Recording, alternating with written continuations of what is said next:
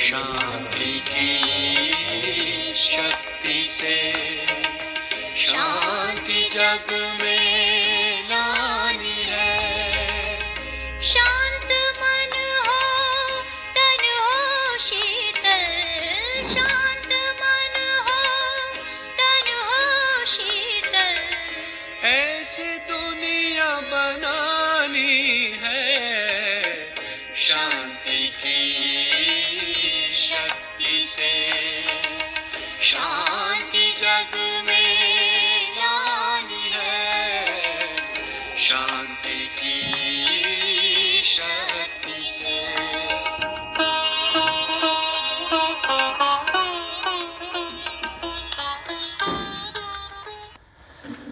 आज 14 दिसंबर 2021 बाप दादा के महावाक्य हैं, मीठे बच्चे, तुम अभी सच्चे सच्चे सत्संग में बैठे हो। तुम अभी सच्चे सच्चे सत्संग में बैठे हो। तुम्हें सच खंड में जाने का मार्ग सत्य बाप बतला रहे हैं। जितने भी नाम सत्संग के दुनिया में हैं, सत्य कहते हैं गॉड इज़ ट्रुथ किसी को गॉड का पता ही नहीं वो कौन है, कहाँ रहता है, कैसा है, क्या है। कि वही हमारा बाप है, आत्माओं का बाप है, किसी को पता ही नहीं है। तो वो सत्य का संग कैसे हो सकता है? नाम रख दिया है सत्संग, है वो झूठ का संग। मनुष्यों को देखते हैं वो, गुरुओं को देखते हैं वो। और सत्य है तो क्या करते हैं? सचखंड, यानी सत्युग। स्वर्ग में जाने का रास्ता बतला रहे हैं। सत्यनारायण की सच्ची सच्ची कथा सुना रहे हैं। प्रश्न है, किस निश्चय के आधार पर पावन बनने की ताकत स्वतः आती है? एक निश्चय बैठ जाए पावन बनने की, शक्तिशाली बनने की सत्व प्रधान बनने की ताकत ऑटोमेटिकली आ जाएगी। ऐसे कौन सी निश्चय है? कौन सा विश्वास बैठ जाए? सुनो ध्यान से। उत्तर, यदि निश्चय हो कि इस मृत्यु लोक में, यानी कलयुग में, अब हमारा ये अंतिम जन्म है। और इस पति दुनिया का विनाश होना है। क्या निश्चय होना चाहिए? यह हमारा अंतिम जन्म है और इसके बाद इसका विनाश हो जाना है। ये कलयुग की दुनिया रहने वाली नहीं है। और बाप की श्रीमत है, पावन बनो तो पावन दुनिया के मालिक बनेंगे। पावन बनो तो पावन दुनिया के मालिक बनेंगे। क्यों प्योर बनना है? रिवार्ड देखो क्या है। पावन दुनिया का मालिक कोई छोटा मोटा चीज़ नहीं है। लक्ष्मी नारायण जैसे बन जाएँगे। यही तो राजयोग है। और इस बात के निश्चय से पावन बनने की ताकत स्वतः आती है। मेहनत नहीं करनी पड़ेगी, बस इसी निश्चय के नशे में रहो। यही तो योग है। इसी नशे में रहो। योग लगा हुआ है आपका। ताकत आ रही है धीरे धीरे गीत है, आखिर वो दिन आया आज। कौन सा दिन? जिस दिन को तकते थे, वेट कर रहे थे। ओम शांति। मीठे मीठे रूहानी बच्चों ने गीत सुना। ये गीत तुम्हारे लिए हीरे जैसा है और जिन्होंने बनाया है उन्हों के लिए कौड़ी जैसा। वैल्यू कोई नहीं उनके गीत की। वो तो जैसे तोते मुआफिक गाते हैं। अर्थ कुछ भी जानते नहीं। और तुम इसका अर्थ जानते नहीं हो, समझते हो। क्या? कि अब वो दिन आया है, जबकि कलयुग बदल, सत्युग आना है। या ये कहो, कलयुग माना पुरानी दुनिया बदल, सत्युग माना पावन दुनिया होनी है। मनुष्य पुकारते भी हैं, हे पतित पावन, आओ आओ, यानी यहाँ पर नहीं है। पावन दुनिया में कोई पुकारेंगे नहीं। तो तुम इस गीत के अर्थ को अच्छी तरह जानते हो और दुनिया वाले नहीं जानते। तुम जानते हो भक्ति कर आधा कल्प चलता है। कब से चला भक्ति मार्ग? द्वापर में क्या हुआ? जब से रावण का राज्य शुरू होता है, तब से भक्ति शुरू होती है। पहले भक्ति शुरू हुई कि रावण शुरू हुआ? पहले भक्ति शुरू हुई, फिर हाँ पहले रावण राज्य बुराइयों में आए, तब ढूंढा कि भी दुखी क्यों है, शांत क्यों है? तब किसी ने बोला, भक्ति करो, पूजा करो, पाठ करो। मनुष्य मत है ये। जहाँ से सुना बोल भक्ति करनी है कि नहीं करनी है? थोड़ी करनी कि ज़्यादा करनी है? सुनो ध्यान से। तो जब से रावण का राज्य शुरू होता है, तभी से भक्ति शुरू हो जाती है। यानी भक्ति होना मीन्स, रावण राज्य होना मीन्स, सीढ़ी उतरनी पड़ती है, गिरावट आएगी आएगी। अब ये राज है। ये राज बच्चों की बुद्धि में बैठा हुआ है।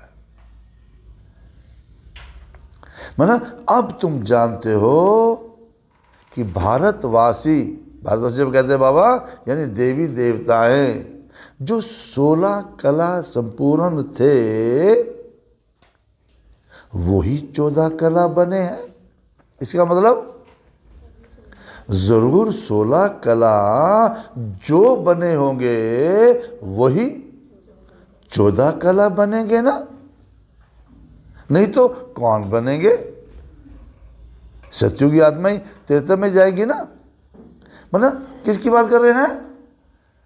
हमारी, नहीं, तुम ही चौदह कला बने हैं। ज़रूर। तुम भी सोलह कला थे, अब फिर बन रहे हो, फिर कलाएँ घटती जाएँगी। दुनिया की भी कला घटती है, हमारी कला घटी, देवताएँ गिरे, दुनिया भी गिरावट में आ गई। अब मकान, जो पहले सतो प्रधान है, वही तो तमो प्रधान ज़रूर होना ही है। तो तुम जानते हो, सतो प्रधान दुनिया, सत्य को तमो प्रधान दुनिया कलयुग को कहा जाता है, सतो प्रधान वाले ही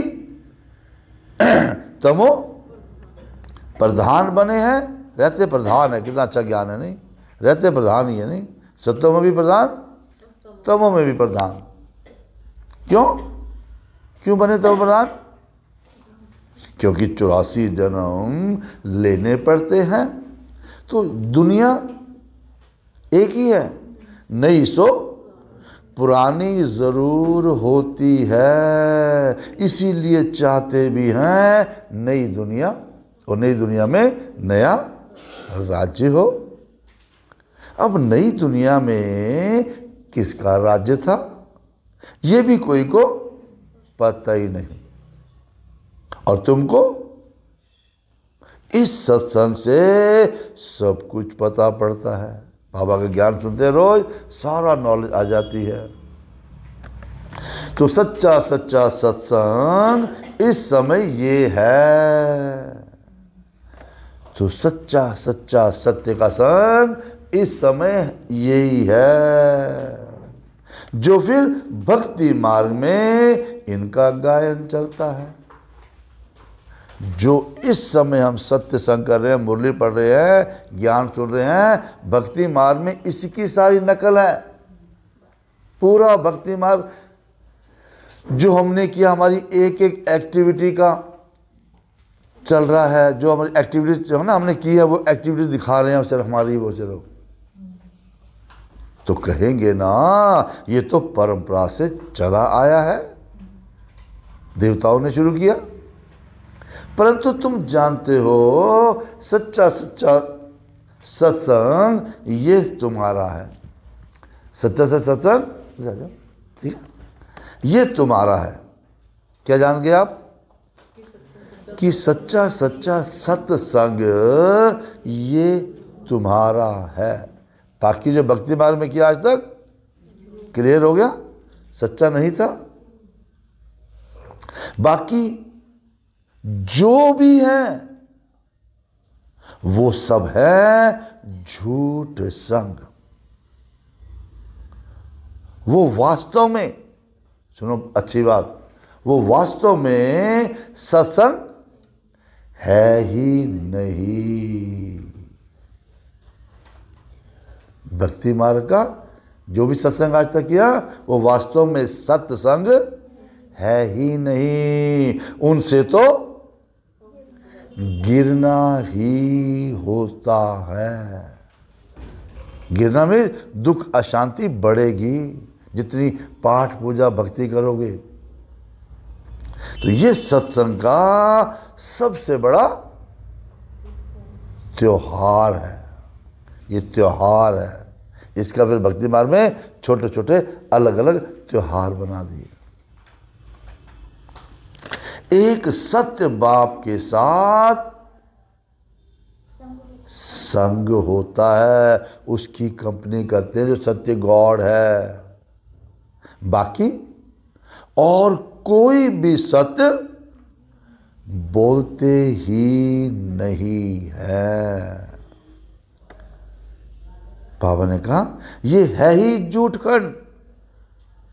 झूठी माया झूठी काया झूठा सब संसार। तो पहले पहले झूठ ईश्वर के लिए कह देते हैं कि वो सर्वव्यापी सबसे बड़ा झूठ क्या बोला? कि वो सर्वव्यापी है, सबके अंदर व्यापक है, हम सब में परमात्मा का है। अलफ, विज अल्लाह। अलफ को ही झूठ बना दिया। तो तुम्हें पहले पहले परिचय देना है अलफ का, बाप का। और दुनिया में तो उल्टा परिचय दे देते हैं। झूठ तो झूठ, सच की रत्ती भी नहीं। जितना भी भक्ति मार्ग में ज्ञान चुना आपने, जो भक्ति मार्ग चुना, उसमें सच की रत्ती भी नहीं है। ये है ज्ञान की बातें। ऐसे नहीं कि पानी को पानी कहना झूठ है। रामायण में लिखा ना, राम जी, ये संसार है ही नहीं। लोग कहते हैं, जी मिथ्या संसार है ये, संसार है ही नहीं। अरे संसार तो है ना। दुनिया तो है ना, मनुष्य तो है ना। तो ये है ज्ञान और अज्ञान की बातें। भक्ति मार्ग पूरा क्या है? अज्ञान ब्लाइंड फेथ अंधश्रद्धा। तो ज्ञान एक ही, ज्ञान सागर बाप देते हैं। जिसको कहा जाता है रूहानी ज्ञान स्पिरिचुअल नॉलेज सत्युग में झूठ होता ही नहीं। तो रावण आकर सच खंड को झूठ खंड बना देते हैं। सत्य को ही कलयुग बना देते हैं। और बाप कहते हैं, मैं कोई सर्वव्यापी थोड़ा ही हूँ। सारी दुनिया मानती है कि वो सत वो क्या है? सर्वव्यापी है। बाबा ने कहा, सच सच तो मैं ही बताता हूँ। सिर्फ़ एक कोई कहते हैं गॉड इज़ ट्रुथ भगवान के साथ दो वैल्यू दी जाती है। कौन कौन सी है? गॉड इज़ ट्रूथ और लव इज़ गॉड लव करना बाबा ही सिखाते हैं। बाकी तो लव के नाम पर धब्बे लगाते हैं। स्वार्थ का शरीर के प्यार को ही लव समझ लेते हैं। तो आत्मिक लव बाबा ने सिखाया भी क्या होता है ये। सच तो मैं ही बताता हूँ और मैं आकर सत्य मार्ग अर्थात सच खंड में जाने का मार्ग बताता हूँ। मैं तो ऊँचे ते ऊँचा, तुम्हारा बाप हूँ। बाबा को बोलना पड़ता है, मैं तो सच्चे सच्चा तुम्हारा बाप हूँ। आता ही हूँ। तुम्ही को वर्षा देने। तुम बच्चों के लिए मैं सौगात ले आता हूँ, गिफ्ट लेके आता हूँ। क्योंकि मेरा नाम ही है हेवनली गॉड फादर और हेवन हथेली पर ले आते हैं मॉडल लेके आते हैं स्वर्ग का। है ना? हथेली पर स्वर्ग का मॉडल लेके आते हैं। अब स्वर्ग में होती है स्वर्गवासी देवताओं की बादशाही। अभी तुमको स्वर्गवासी बना रहे हैं। सब बनना चाहते ना स्वर्गवासी? दुनिया में किसी को बोलोगे स्वर्गवासी बनना चाहते तो मारेंगे आपको वो। है ना? और यहाँ पर हम स्वर्गवासी में, स्वर्ग में रहने के काबिल बन रहे हैं। सच्चा तो एक ही बाप है, इसीलिए बाप कहते हैं। Hear no evil see no evil talk no evil ना बुरा देखो, ना सुनो, ना बोलो। कौन क्या है बुरा? पूरी भक्ति मार्ग की बातें, शास्त्रों की बातें सुननी भी नहीं है, बोलनी भी नहीं है, देखनी भी नहीं है। बुराई देखनी नहीं है। क्योंकि ये सब मरे पड़े हैं। कब्रिस्तान है। सब शरीरों को देख रहे हैं? शरीर तो कब्रिस्तान में जाना जाना है। खत्म होना शरीर तो। विनाशी है। ये सारा कब्रिस्तान है। इनको देखते भी नहीं, देखना है। इस दुनिया को कली की दुनिया को, शरीरों को देखते हुए भी नहीं देखना है। ये कैसे हो सकता है? देखना भी है, नहीं भी देखना है। कैसे हो सकता है ये? देखते हुए भी दिख रहा है ना, अब नहीं देखना। कैसे हो सकता है ये? जब दिख ही गया फिर कैसे कहोगे? या तो आँखें बंद कर लो। आँखें बंद भी नहीं करनी है, आँखें भी खुली रखनी है तो फिर? देखते हुए भी नहीं देखना। आज दिख रहा है आपको क्या हो रहा है? पर उसका चिंतन नहीं चलाना है, उसके बारे में विचार नहीं चलाना, ये होता है देखते हुए भी नहीं देखना। तुमको क्या करना है फिर? लायक बनना है नई दुनिया के लिए। क्योंकि इस समय सभी पतित हैं। गोया स्वर्ग के लायक नहीं है। बाप कहते हैं, तुमको रावण ने नलायक बनाया है। आधा कलब के लिए फिर बाप आकर लायक बनाते हैं। सभी निलायक हो गए थे ना? तो उनकी श्रीमत पर चलना पड़े। तो उनकी श्रीमत पर चलना पड़े, फिर चलो तो सही। जैसे बाबा कहता है, फिर जवाबदारी सारी उन्हीं पर है। मैं आपको कोई काम बोलता कर दो, नुकसान फ़ायदा मेरा होगा ना, मैंने कहा है। ऐसे बाबा कहता है, तुम करो सी फिर देखो रिज़ल्ट क्या मिलती है उसकी। मैं जॉब दूँगा अगर तुम्हारा नुकसान हो जाए। तुम्हारा कोई प्रॉब्लम आ जाए, ये निश्चय बिठाना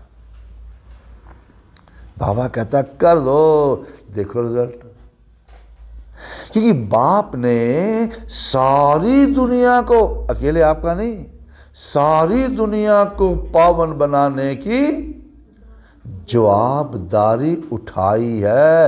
हर एक, कोई कोई प्रॉब्लम आएगी पूछ सकता बाबा, ये कैसे हो गया मेरे साथ? नुकसान कैसे हो गया? हो ही नहीं सकता किसी का नुकसान। इसका मतलब वो जो मत देंगे, वो कल्प पहले वाले ही देंगे, जो पिछले साइकिल में दी थी, जिसे कलयुग सदुग बना था, वही देंगे। इसमें मूझना नहीं चाहिए कंफ्यूजन बिल्कुल नहीं होनी चाहिए। अब क्या करें? जो पास्ट हुआ, एक सेकंड पहले बीता, क्या कहेंगे? ड्रामा अनुसार हुआ। ऐसे नहीं हुआ। उसने ऐसे नहीं बोलना चाहिए, उसको ऐसे नहीं करना चाहिए। उसने गलत किया? नहीं। ना उसने खुद किया, ना बाबा ने करवाया। किसने किया? ड्रामा प्रमाण। लिखा ही ऐसा था, ऐसा ही होना था। ये बड़ा इंपॉर्टेंट है समझना। क्या कहेंगे? ड्रामा अनुसार हुआ, बात ही खलास। उसके बारे में सोचना नहीं। और श्रीमत के फिर क्या करना क्या फिर? श्रीमत कहती है, ये करो। स्टॉप करके फिर बाबा की मुरली पढ़ो। मुरली बाबा ने क्या करने के लिए? वो करो। मुरली में लिखा आ गया तो करना चाहिए।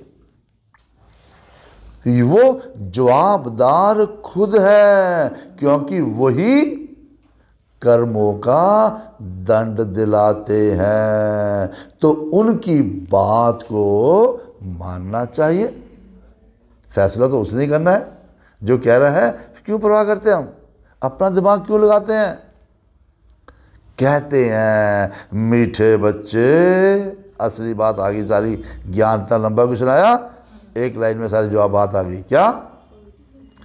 कहते हैं, मीठे बच्चे ग्रस्त व्यवहार में रहते। ये अंतिम जन्म पवित्र रहो। क्योंकि इस मृत्यु लोक में ये हमारा अंतिम जन्म है। अब ये बात, कितनी गहरी बात है। अब ये बात जब समझें, तभी तो पावन बन सके। तो बाप आते ही तब है जब पति दुनिया का विनाश होना है, स्थापना और विनाश। दोनों साथ साथ चल रहे हैं। पहले स्थापना, फिर विनाश। ऐसा होता है ना? अक्षर भी अर्थ सहित लिखना पड़े। ऐसे नहीं, स्थापना, पालना, विनाश। स्थापना, पालना, विनाश लिखेंगे? नहीं। पहले पहले स्थापना, फिर विनाश, फिर पालना। अभी तुम बच्चे जानते हो, हम पढ़ करके ऊंच पद पाएँगे। खेल मैदान सारा किस पर है? पढ़ाई पर। हम पढ़कर पढ़ करके ऊंच पद पाएँगे। तो ये बुद्धि में हड्डी रहना चाहिए। जिगर तक पहुँच जाना चाहिए, दिल त- अंदर तक पहुँच जाना चाहिए, इनर कोर में पहुँच जाना चाहिए आपके हार्ट के। क्या? कि पढ़ करके हम ऊंच पद पाएँगे। अब कई बच्चे हैं जो भल समझाते अच्छा है, परंतु हड्डी, वो सुख किसी को है ही नहीं। समझाते अच्छा है, पर अपने को देखो, वो इतना जिगरी सुख, खुशी होनी चाहिए, सुख होना चाहिए, वो है ही नहीं। तोते मिसल याद करते हैं ना, सिर्फ़ सुनाने के लिए सुनाते हैं। अपना अनुभव प्रैक्टिकल तो कुछ किए ही नहीं है। तो तुम्हारी बुद्धि में भी हड्डी धारणा होनी चाहिए। हड्डी की बात बोलते हैं? हड्डी धारण की बोलते हैं? मांस ऊपर होता है, हड्डी अंदर होती है ना तो ऐसे शरीर के अंदर आत्मा है। आत्मा के अंदर जानी चाहिए ये बात। तुम जानते हो, ये जो भी शास्त्र हैं सब भक्ति मार्ग के हैं। इसीलिए समझाया जाता है, अब जज करो। शास्त्र भी पढ़े तुमने, भक्ति मार्ग भी देख लिया, अब ज्ञान मार्ग भी देख लिया। अब जज करो, सुननी, सुनाई बात पे विश्वास नहीं करना है। सुनना है, फिर बुद्धि से समझना है। भक्ति मार्ग में बुद्धि का ताला बंद था समझाई कुछ नहीं। सुनी, सुनाई बातों पे विश्वास किया। अब ज्ञान मार्ग में सुना, अब समझना है। फिर जज करो कि सत्य क्या है। अब सत्य नारायण की कथा तुमको एक बारी बाप ही सुनाते हैं। वो तो सुनते आए। अब बाबा सत्य में नारायण बनने की सत्य कथा सुना रहे हैं। बाप ही सुनाते हैं। God is truth. इसका मतलब बाप कभी झूठ बोल ही ना सके। तो बाप ही सच बोलकर सचखंड की स्थापना करते हैं। सच्ची कथा सुनाते हैं। इसमें झूठ हो ही ना सके, एक शब्द भी झूठ नहीं हो सकता। तो बच्चों को ये निश्चय होना चाहिए कि हम किसके साथ बैठे हैं?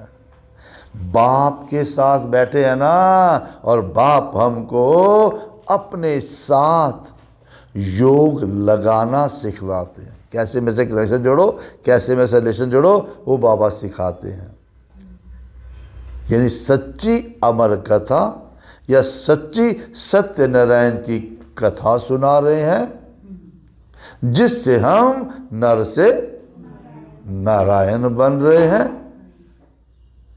नारायण बन रहे सारे हम। जिसका फिर भक्ति मार्ग में गायन चलता है, उसी के बेस पे, हमारे बेस पर सारे शास्त्र बनते हैं। तो ये बुद्धि में रहना चाहिए। सबकी बुद्धि में बैठ गई बात ये वाली। हमको कोई मनुष्य नहीं पढ़ाते हैं। चाहे ऋषि मुनि भी हैं बड़े बड़े महर्षि हैं, कुछ भी हैं, है तो मनुष्य। वो नहीं पढ़ा रहे। हम आत्माओं को आत्माओं का बाप, यानी रूहानी बाप पढ़ाते हैं। कौन है वो? शिव बाबा। जो हम आत्माओं का बाप है, वो हमको पढ़ाते हैं। बाप ही नहीं है वो, टीचर भी है। तो शिव बाबा के सम्मुख अभी हम बैठे हैं। यानी जब मधुबन में आ जाते हैं तो नशा चढ़ता ही है। मधुबन में तुमको रिफ्रेशमेंट मिलती है। तुम रियलाइज़ करते हो, है ना?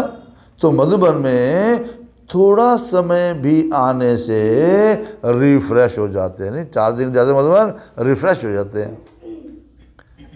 यहाँ क्यों नहीं रिफ्रेश होते क्योंकि यहाँ तो गोरख धंधा रहता है, बाहर में तो जहाँ घर है, घर का काम, ये वहाँ तो घर का काम भी नहीं करना, कुछ सफ़ाई भी नहीं करनी, रोटी भी नहीं बनानी सिर्फ़ खाना ही खाना सिर्फ़ इसलिए वहाँ पर कोई बिज़नेस ही नहीं है, कोई काम धंधा ही नहीं है कुछ भी। तो बाप कहते हैं, हे आत्माएँ तो बाप जब कहते हैं, हे आत्माएँ, बाप आत्माओं से बात करते हैं। अब बाप भी है निराकार, उनको कोई जानते ही नहीं। ना ब्रह्मा, विष्णु, शंकर को जानते हैं। मुख्य देवता, ब्रह्मा, विष्णु, शंकर तीन ही हैं, बाकी तो तैतीस देवी देवताएँ हैं। जानते ही नहीं कोई भी। अब चित्र तो सबके पास है, मूर्ति बनानी है, वो सबके पास हो सकती है।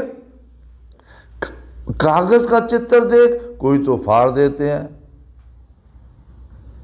कोई तो फिर देखो, कितना दूर दूर जाकर कितनी पूजा आदि करते हैं। नहीं, चार धाम जाएँगे, पता नहीं कहाँ कहाँ जाते हैं, कितनी पूजा करते हैं। अरे चित्र है ना, मूर्ति है ना, वो तो घर में भी रखे हैं ना। घर में भी रखी होती है। फिर इतना दूर दूर जाकर भटकने से क्या फ़ायदा? अभी तुम बच्चों को ये ज्ञान मिला है, ज्ञान मैंने समझ मिली है, बुद्धि का ताला खुला है। इसीलिए अब वो बातें फालतू लगती हैं। किसको भक्ति मार्ग की बातें से फालतू लगती है अब? सबको लगती है लगती? कोई है जो भी भक्ति करता है, मंदिर जाता है? कोई नहीं जाता जाना नहीं चाहिए, जाना चाहिए। अपनी शक्ल देख के आनी चाहिए, अपनी फ़ोटो देख के आनी चाहिए। मेरी फ़ोटो किस मंदिर में लगी हुई है? अब कृष्ण तो यहाँ भी गोरा या सांवरा पत्थर का बन सकता है। फिर जगन्नाथपुरी में क्यों जाते हैं? अब इन बातों को भी तुम ही जानते हो। तभी तो कृष्ण को श्याम सुंदर कहते हैं। क्यों कहते हैं? आत्मा, कृष्ण की आत्मा की बात है ना? आत्मा तमो प्रदान होने से काली बन जाती है। फिर आत्मा पवित्र होने से सुंदर बन जाती है। तो ये भारत ही गोल्डन एज था। ये पूरा भारत ही सतयुग था, सचखंड था। पाँच तत्वों की भी नेचुरल ब्यूटी रहती है वहाँ पर। शरीर भी ऐसे सुंदर बनते थे। अभी तत्व भी तमो प्रधान होने के कारण शरीर भी ऐसे सांवरे, कोई टेढ़ा कोई लूला, कोई लंगड़ा आदि बनते रहते हैं। इनको ही कहा जाता है नरक। ये तो है माया का पॉम्प सिर्फ़ माया का दिखावा है, साइंस का दिखावा है। विलायत में बत्तियाँ ऐसी हैं जो रोशनी होती है, बत्तियाँ नहीं दिखाई पड़ती। हाँ जी, वहाँ भी ऐसे रोशनी होती है। सत्युग में भी कैसे होती, वहाँ पर क्या होते हैं दादी बताते थे कि वहाँ पर ना, जब सूर्य की किरणें पड़ती थी ना, हीरों पर तो हीरे चमकते थे। फिर बाबा ने कहा, विमान आदि तो वहाँ भी होते हैं। साइंस, जिसको आप अभी बहुत घमंड है अपने पर है ना? साइंस घमंडी भी यहाँ आएँगे, वो भी आएँगे ज्ञान लेने के लिए। फिर वहाँ भी ये एरोप्लेन आदि सब बनेंगे। हाँ। तुम जितना तुम जितना नज़दीक आते जाएँगे तो तुमको सब दिखेगा, सब साक्षात्कार होगा। अब बिजली के कारीगर आदि ये सब आकर नॉलेज लेंगे। थोड़ी भी नॉलेज ली तो प्रजा में तो आएँगे। हुनर साथ ले जाते हैं तो अंतमति सुगति हो जाएगी। अंत में जो आपके मैकेनिकल माइंड है जो भी माइंड है वो, वो आगे जाके ऐसे ही निकलेगा वो आत्मा। हाँ। तुम्हारे मुआफिक कर्मातीत अवस्था को तो नहीं पाएँगे। परफेक्शन पूरी हो जाए, वो नहीं होगा उनका। बाकी आत्मा हुनर तो ले ही जाएगी ना। अब टेलीविज़न आदि पर दूर बैठ देखते रहेंगे। क्या देखेंगे? दिन प्रतिदिन मुसाफरी करना मुश्किल हो जाएगा। दिखा देना कोरोना ने। कि आना भी मुश्किल हो गया सेंटर पे। दुनिया में क्या क्या इन्वेंशन करके चीज़ें निकालते हैं। है ना? कितनी साइंस कर रही है इन्वेंशन करती है, कितनी चीज़ें निकालती हैं। नेचुरल क्लैमिटीज आ जाती है, बाढ़, भूकंप आ जाती है मे भी इतने मरते हैं फ्लड आदि भी होंगे, बाढ़ भी आएगी। समुंदर भी उछल खाएगा। क्योंकि समुंदर को भी सुखाया है ना। सुखा सुखा के ज़मीन बना दी उसकी। छोड़ेगा तो ना समुंदर। मेरी चीज़ खा गए, एक बारी में सारा खा जाएगा सबको खा जाएगा, जिसने बनाई है वो। तो अभी तुम बच्चे जानते हो, इस दुनिया में क्या क्या है, फिर नई दुनिया में क्या क्या होगा। सिर्फ़ क्या होगा नई दुनिया में? सिर्फ़ भारत खंड ही होगा। एक ही कॉन्टिनेंट होगी, भारत। सो भी छोटा होगा। बाकी सब चले जाएँगे परम धाम में। बाकी टाइम में कितना बचा है, ये कुछ भी नहीं होगा। जो इकट्ठा कर रहे हैं यहाँ पर ये कुछ भी नहीं होगा। तुम अपनी राजधानी स्थापन कर रहे हो। किसी में शांत होने कर रहे हैं? तुम अपनी राजधानी स्थापन कर रहे हो तुम्हारे लिए पुरानी दुनिया के विनाश की पहले से ही नूंद है। ये सब कुछ विनाश हमारे लिए हो रहा है, ताकि हम नई दुनिया में जाएँ। इस छी छी दुनिया में तुम बाकी थोड़े रोज फिर फिर अपनी नई दुनिया में चले जाएँगे। ये सिर्फ़ तुम याद करते रहो तो भी खुशी में रहेंगे। तुम्हारी बुद्धि में है कि ये सब खलास होने का है। इस दुनिया में कलयुग दुनिया का जो भी कुछ है, सब खलास हो जाने का है। ये सब इतने खंड रहेंगे नहीं। प्राचीन भारत खंड ही रहेगा। बल गृहस्थ व्यवहार में रहो घर बार छोड़ना नहीं है। काम आदि करते रहो बिज़नेस नौकरी करते रहो, पर बुद्धि में बाबा की याद रहे। आत्मा में क्या है? मन बुद्धि। तो मन बुद्धि विचारी बाबा क्या कहता है? बुद्धि देखती है बाबा को रहे क्योंकि तुमको ये मनुष्य से देवता बनने का कोर्स उठाना है और गृहस्थ व्यवहार में रहते, नौकरी करते, गृहस्थ में भी रहना है, नौकरी बिज़नेस भी करना है, और क्या करना है? ये करते क्या करना है? बाप को और चक्कर को याद करो। फिर एकांत में बैठकर विचार सागर मंथन करो। अब कुदरती आपदाएँ आएँगी नेचुरल क्लैमिटीज आएँगी, जिससे सारी दुनिया खत्म हो जाएगी। सत्यु में बहुत थोड़े मनुष्य रहते हैं। वहाँ कैनाल्स आदि की दरकार ही नहीं। यहाँ तो नहरें निकालते हैं। यहाँ तो कितने कैनाल्स खोदते हैं? नदियाँ तो अनादि है। शुरू से चली आ रही नदियाँ तो। सत्यु में जमुना का कंठा होगा। वहाँ सब मीठे पानी के ऊपर महल होंगे वहाँ पर समुद्र के पास कोई दुनिया नहीं होगी उस समय। सिर्फ़ नदियों के पास ही। नदियाँ भी छोटी छोटी होंगी। कोई डूब नहीं सकता। फ़र्स्ट क्लास होंगी प्योर वाटर होगा उसमें। है ना? वहाँ पर हमारे साथ में महल होंगे। ये बॉम्बे तो होगी नहीं। इनको कोई नई बॉम्बे, थोड़ा ही कहेंगे, तुम हर एक बच्चे को समझना है। क्या समझना है? कि हम स्वर्ग के लिए राजाई स्थापन कर रहे हैं, फिर ये नर्क रहेगा ही नहीं। रावण पूरी खत्म हो जाएगी, पूरी विकारों की दुनिया ही खत्म हो जाएगी।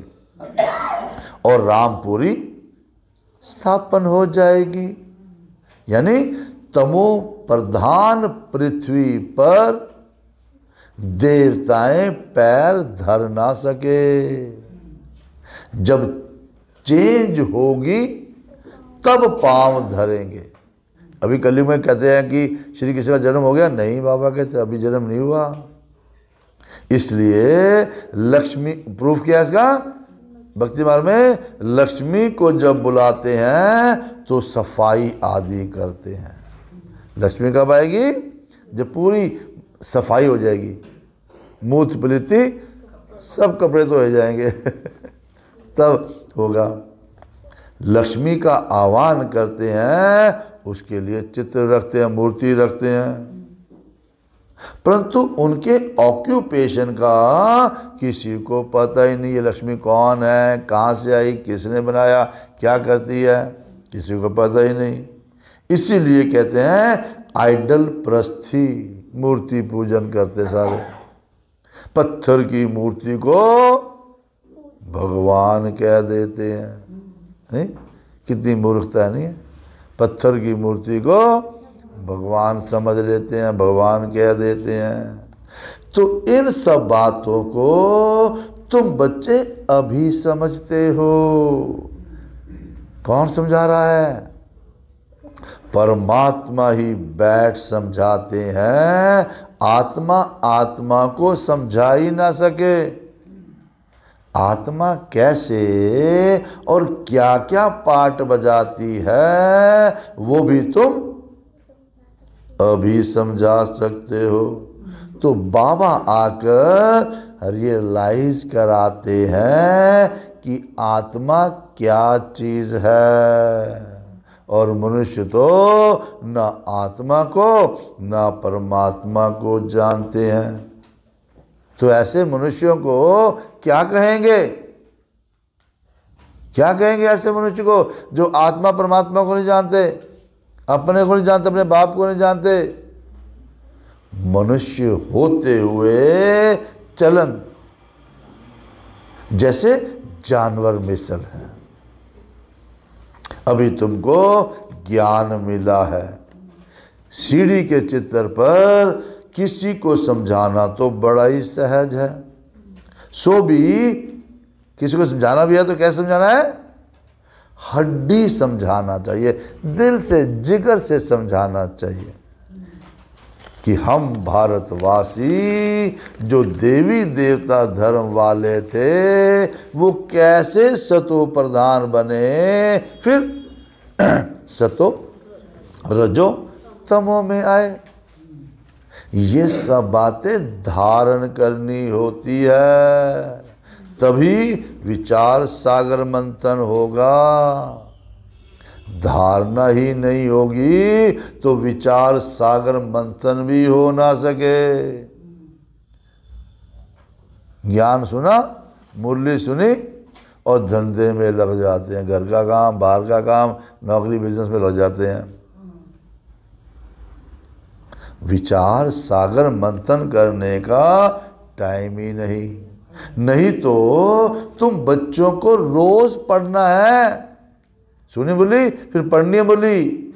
और उसी पर विचार सागर मंथन करना है। बाबा ने आज कौन सी लाइन बोली? अच्छा मेरे जीवन में इसका क्या अभिप्राय है? कैसे मेरा जीवन चेंज होगा? इससे एक एक लाइन का मंथन करो। बाबा रोज समझाते हैं। किसी को समझाने के लिए पॉइंट्स तो बहुत है। अब गंगा पर भी तुम जाकर समझा सकते हो कि सर्व का सदगति दाता बाबा है या पानी की गंगा? पूछो उनसे। पानी सदगति करेगा या बाबा करेगा, भगवान करेगा? फिर उनको बताओ। तुम क्यों मुफ़्त में पैसा बर्बाद करते हो? अगर गंगा स्नान से पावन बन सकते हैं तो गंगा पर बैठ जाओ। गंगा के ऊपर ही बैठ जाओ। बाहर निकलते ही क्यों हो? और बाप तो कहते हैं श्वासो श्वास मुझे याद करो। यही है योग अग्नि निरंतर मुझे याद करो। यह योग अग्नि। योग अर्थात याद। समझानी तो बहुत है परंतु कोई सतो प्रधान बुद्धि है तो झट समझ जाते हैं। अब कोई रजो कोई तमो बुद्धि भी है यहाँ क्लास में नंबरवार नहीं बिठाया जाता। अगर भक्ति वालों को पीछे बिठाए तो घर से कोई आए ना। है ना? बाबा कहते हैं, यहाँ नंबरवार नहीं बिठाया जाता। अगर बिठाए तो हार्ट फेल ही हो जाए उसका। ये क्या हो गया? ड्रामा प्लान अनुसार बाबा कहते किंगडम यानी राजधानी पूरी स्थापन हो रही है। फिर सत्युग में थोड़ा ही बाप पढ़ाएँगे। इस समय पढ़ा रहे सिर्फ़। सत्युग में भगवान नहीं पढ़ाएँगे। बाप की पढ़ाई का एक ही समय है। फिर भक्ति मार्ग में क्या होगा? झूठी बातें बनाते हैं। साफ़ साफ़, बाबा ऑफिशियली कह रहे सारा कुछ आज। फिर भक्ति मार्ग में झूठी बातें बनाते हैं, कि वंडर तो ये है जो पूरे चौरासी जन्म लेते हैं। कौन लेते पूरे चौरासी जन्म? श्री कृष्ण। उनका नाम गीता पर डाल दिया। और जो पुनर्जन्म रहित है, उनका नाम गुम कर दिया। तो हंड्रेड परसेंट झूठ हो गया ना। सारे शास्त्र गीता से निकले हैं और गीता में ही कृष्ण को भगवान बना दिया। छोटा बच्चा बना, इस ज्ञान से वो बच्चा ऐसा बना, बाप ने बनाया, बाप को ही गुम कर दिया। तो बच्चों को बहुतों का कल्याण करना है। तुम्हारा सब कुछ है, गुप्त। यहाँ तुम ब्रह्मा कुमार कुमारियाँ। अपने लिए स्वर्ग की सूर्यवंशी, चंद्रवंशी राजधानी स्थापन कर रहे हो। ये भी किसी की बुद्धि में नहीं आएगा। तुम्हारे में भी भूल जाते हैं तो दूसरे फिर क्या जानेंगे? बाबा के बच्चे ही भूल जाते हैं तो दूसरे क्या जानेंगे?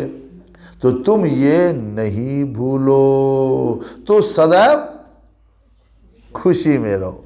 बाबा, चाहता नहीं मेरा बच्चा एक भी कभी दुखी हो, खुश रहे बस।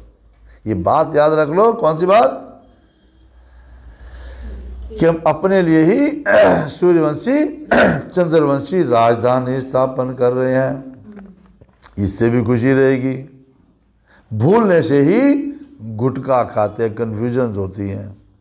अच्छा मीठे मीठे सिक लदे बच्चों प्रति मात पिता, बाप दादा का याद, प्यार और गुड मॉर्निंग।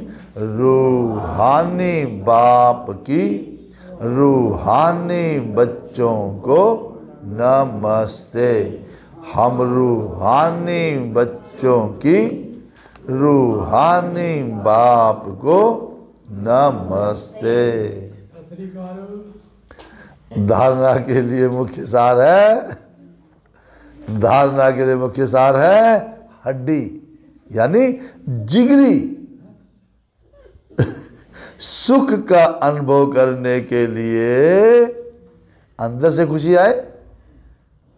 अंदर सुख लेना है? तो क्या करो उसके लिए? बाप जो पढ़ाते हैं, उसे बुद्धि में धारण करना है।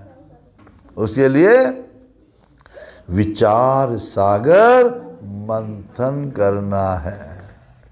दूसरा, इस कब्रिस्तान को देखते भी नहीं देख रहा शरीर को देखेगा, ये तो कब्रिस्तान होने वाला है। शरीरों से क्या प्यार करना? तो hear no evil see no evil talk no evil शास्त्रों की कोई बातों के बारे में ना सोचना है, ना देखना है, ना बातें करनी है। तो क्या करना है? नई दुनिया के लायक बनना है। वरदान।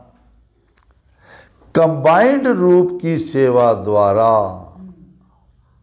आत्माओं को समीप संबंध में लाने वाले कंबाइंड रूप धारी भव। कौन आज? कंबाइंड। मैं और बाबा? कंबाइंड है आज। कंबाइंड, हमारा रूप कंबाइंड है। ठीक है? तो क्या करें कंबाइंड रूप से हम? जितनी भी आत्मा है, इनको अपने समीप संबंध में लाएँगे। यहाँ संबंध हमारा अच्छा होगा, तभी तो आगे जाएँगे। तभी तो राजधानी में अच्छा पद मिलेगा हमारे को। तो उसके लिए क्या करना पड़ेगा? कंबाइंड रूप की सेवा करनी पड़ेगी। अब कंबाइंड रूप की सेवा क्या है? बाबा ने कहा, सिर्फ़ आवाज़ द्वारा सेवा करने से प्रजा बनती जा रही है। लेकिन आवाज़ से परे स्थिति में स्थित हो, फिर आवाज़ में आओ, यानी अव्यक्त स्थिति और फिर आवाज़। ऐसे कंबाइंड रूप की सेवा वारिस बनाएगी, राजा क्वालिटी बनाएगी। आवाज़ द्वारा प्रभावित हुई आत्माएँ अनेक आवाज़ सुनने से आवागमन में आवागमन में आ जाती है। लेकिन कंबाइंड रूपधारी बन,